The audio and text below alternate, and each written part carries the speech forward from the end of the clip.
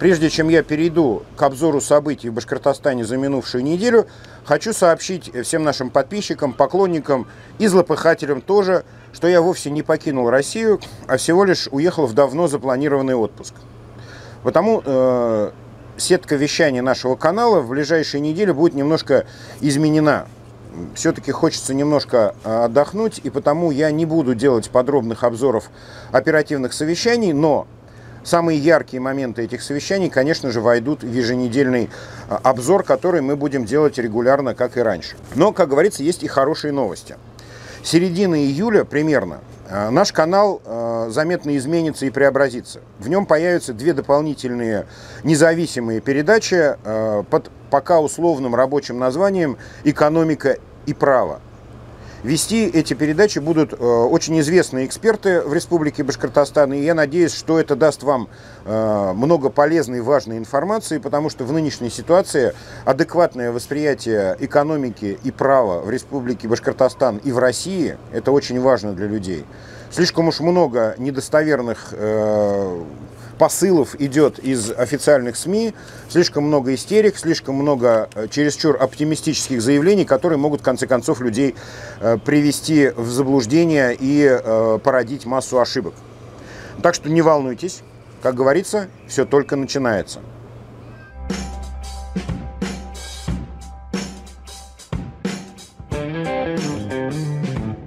Криминальные события в составе команды Ради Хабирова на этой неделе были многообразны и очень показательны. Складывается вообще впечатление, что правоохранительные органы решили извести всю эту группировку под корень, не дожидаясь переизбрания Хабирова на второй срок. Ну, по крайней мере, лично я уже сбился со счету, подсчитывая, записывая и учитывая министров, замминистров и прочих э, значимых чиновников из команды Хабирова, которые либо уже находятся под судом, либо получили уголовные приговоры и так далее, и так далее. Ну, давайте по списку, что же случилось э, с этими э, замечательными людьми на минувшей неделе.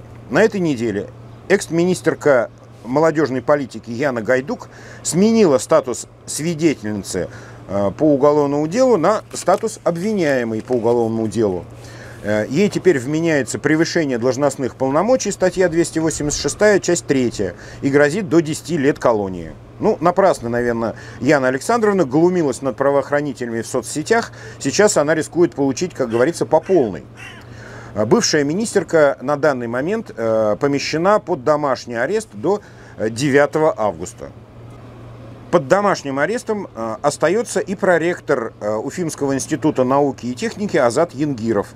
Э, его, напомню, подозревают в получении взяток. А вот домашний арест – руководительницы управления капитального строительства Республики Башкортостан Инне Иксановой продлен. Э, напомню, что ее э, задержали и э, подвергли санкциям еще в апреле этого года. Вместе с тем окончательно вынесен приговор экс-министру строительства Кучербаеву. После всех кассаций, апелляций и прочих судебных процедур господину Кучербаеву достались 6 лет в колонии. Изначально, напомню, ему э, дали аж 9 лет. Ну, 6 лет тоже нормально, я считаю. Да? 50 с лишним эпизодов, которые ему вменялись, вполне тянут на 6 лет колонии. При этом Елена Прочаковская, признанная судом мошенницей, отчаянно пытается обжаловать свой приговор, который ужасным образом ей э, не позволяет дальше продолжить карьеру в Республике Башкортостан в органах власти. С неснятой судимостью это никак нельзя сделать. И Елена Прочаковская пытается э, опровергнуть приговор, который ей был выписан Красногорским судом. Напомню, что она признана мошенницей. Схемка там у нее была простая и вообще до недоумения глупо все получилось с этой Прочаковской. Ну, собственно, что, наверное, ее очень характеризует. А вот после того, как министр транспорта и дорожного строительства господин Клебанов был с помпой арестован и помещен э, в СИЗО, одновременно при этом его уволил Хабиров, этот самый Клебанов начал громко и звонко петь в СИЗО. Пропел все, что знал, и на данный момент был незаметно выпущен под домашний арест. Собственно, расследование продолжается. Клебанов рассказал все, что мог, и э, теперь, значит, уже сидит дома, в тепле, как говорится, и уюте. Кстати, о Хлебанове. Странную очень тактику, я бы сказал, даже забавную тактику защиты избрали его адвокаты. Они заявили, что вот та самая взятка, которая ему вменяется и которую, собственно, я так понимаю, следствие вполне себе э, способно доказать, э, эту взятку Хлебанов своими глазами не видел. Какие-то люди в каком-то непрозрачном пакете передали огромную сумму денег э, через водителя его жене, а сам Клебанов, дескать, этих денег глаза не видел. Вот такая у них вот э, тактика защиты. Ну, согласитесь, довольно смешно. Сидит, значит, дома жена министра, вдруг приносит э, целый, значит, огромный тюк денег. Она говорит, о, надо же, как, какая удача, денежки принесли. Откуда, неважно, кто дал. Знать не знаю, знать не хочу. Э, и побежала, значит, как говорится, по э, супермаркетам. Ну, согласитесь, довольно на, наивная позиция э, защиты, потому что, ну, министр, он все-таки чиновник, и, и ниоткуда бы ему взяться невозможно денег, если только зарплату не заплатит. А тут, понимаешь, приносит в мешке.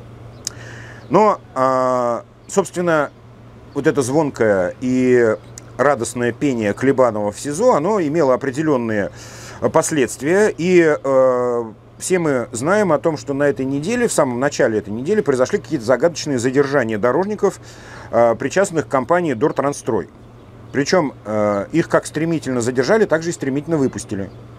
То есть до конца, конечно, непонятно, что это было, но для меня лично очевидно, что э, федералы продолжают дожимать, как выражается Ради Фаритович, дорожную сферу Республики Башкортостан. Успеют ли они до сентября выйти на самого Хабирова, пока непонятно. Но, как говорится, шансы есть. Э, потому что э, действительно круг уже сужается совсем. Министры, вице-премьеры, замминистры, бывшие министры, все уходят э, под суд, а Хабиров остается белым и пушистым в том самом э, белом пальто, о котором говорила незабвенная Новодворская. Так не бывает. Если начальник, значит, святее Папы Римского, а вокруг сплошное варье. Напрашивается вывод, что, наверное, от него, собственно, исходят все эти индульгенции, разрешения и импульсы, которые породили вот эту вакханалию коррупции в Республике Башкортостан.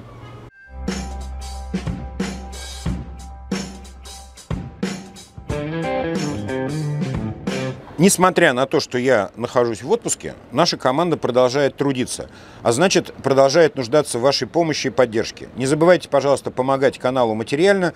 Сделать это можно на любую сумму через расчетный счет, который мы вам демонстрируем на экране и который вы всегда можете найти под любым видео на нашем видеоканале. Также не забывайте подписываться, ставить лайки, писать комментарии. Все это очень-очень нам нужно.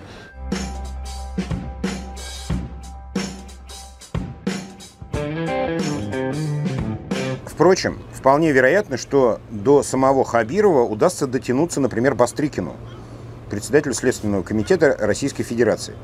На минувшей неделе э, господин Бастрыкин потребовал прояснить ситуацию с ремонтом улицы Рабкоров в Уфе. История эта действительно э, очень давняя и кудрявая. Давайте э, освежим в памяти всю хронологию с ремонтом и реконструкцией этой замечательной улицы. В далеком 2021 году Башкир Автодор выигрывает на торгах контракт на реконструкцию этой самой улицы Рабкоров. Сумма немалая – 470 миллионов рублей. Получив контракт, Башкир-Автодор немедленно перепродает этот контракт компании «Потенциал», с которой э, достаточно устойчиво э, связывают Романа Бабаяна, брата жены Хабирова.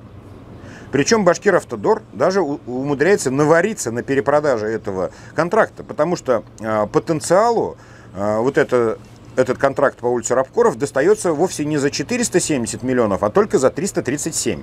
То есть 133 миллиона уже остаются у Башкиравтодора.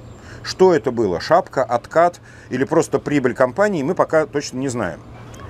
Но согласно контрактной документации, окончание работ должно было случиться в ноябре 2022 года. Потом наступает, когда ноябрь 2022 года, э, срок переносят на декабрь 2023 года. И даже доплачивают еще по контракту 86 миллионов рублей. Но ничего не помогает. Уже июнь 2024 года и работы так и не завершены. Ну, похоже, что полмиллиарда федеральных, кстати говоря, денег по национальному проекту куда-то э, тупо укрались. И вот господин Бастрыкин на данный момент э, заинтересовался этим хозяйственным эпизодом и требует э, прояснить, что же там произошло, ну и, на, наверное, начать искать виновных. Куда делись э, более чем 500 миллионов рублей, и почему улица Рабкоров до сих пор не достроена.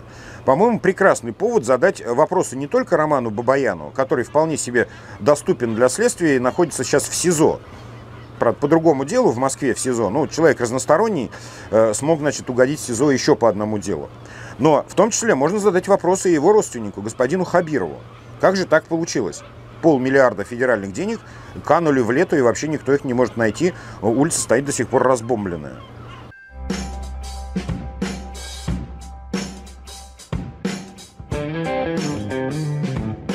На прошедшей неделе выяснилось, что после того, как Ради Хабиров э, забрал у муниципалитетов право распределения земельных участков, он теперь хочет забрать себе еще и право выдавать разрешение на строительство. До сих пор полномочия на э, выдачу этих разрешений э, были у муниципалитетов.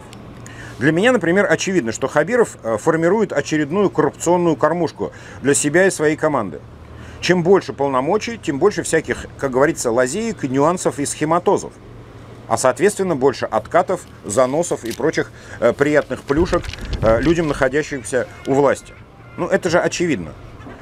Если так пойдет, то э, в скором времени Ради Фаридович вообще сконцентрирует в своих руках все полномочия и все функции государства, каковыми они ни были.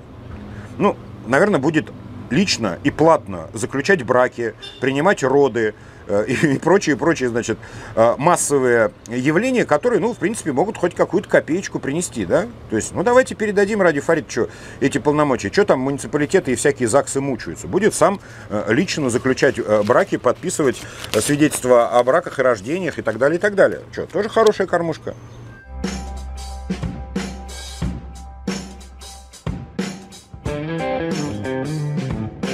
Окончательно определились партнеры Хабирова на выборах 8 сентября. Как я и прогнозировал, коммунисты Башкортостана выдвинули Артура Шайнурова. Ну и как я же, собственно, и говорил, найти конкурента, берем это слово в кавычки, более зависимого от своих соперников и непосредственно от Хабирова, конечно, было бы сложно. Шайнуров целиком и полностью зависит от благоволения нынешней власти в Башкирии. И, конечно же, на самом деле ему выгодно, чтобы Хабиров остался у власти. А вот партия «Новые люди» выставила какого-то московского юриста с едва различимыми башкирскими корнями некого Ильшата э, Тимирьянова, ну, очевидно, что э, человек последние 10 с лишним лет, живущий в Москве и не имеющий, по сути, никакой связи с Башкортостаном, э, особой конкуренции составить радио Хабирову не может. И не только потому, что этого Ильшата знать никто не знает в Республике Башкортостан. Но при этом этот самый Ильшат может стать неким громоотводом для тех, кто категорически не готов голосовать за Хабирова или за коммунистов, ну и, и готов отдать свой голос кому-нибудь вообще. Ну вот, вполне себе это этот Ильшат для этого подойдет. А э, либерально-демократическая партия ЛДПР, как, собственно, и предполагалось, предсказуемо выставила Ивана Сухарева в качестве э, соперника Радио Хабирову. Ну и, как мы уже упоминали, Иван Сухарев, конечно же, никакой не соперник Хабирову, а всего лишь, на мой взгляд, статист в этой ситуации.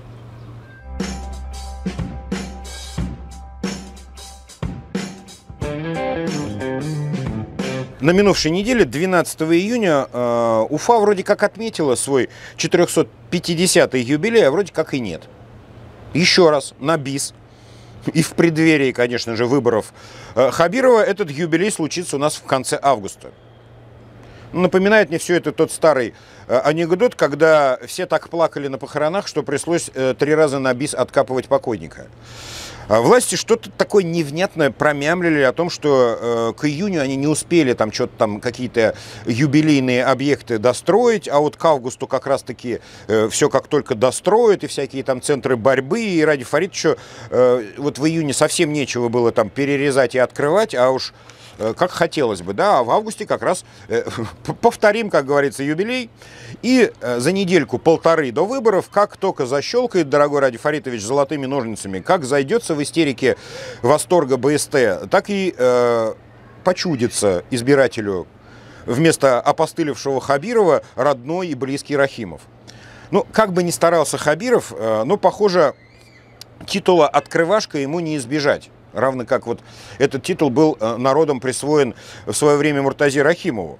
И вообще, я предлагаю праздновать 450-летие Уфы не два раза в год, а примерно 5-6 раз, и каждый год. Ну, тогда и фигура главы Республики Башкортостан станет в разы привлекательнее, э, чем нынешний его оплеванный и проклятый соплеменниками образ.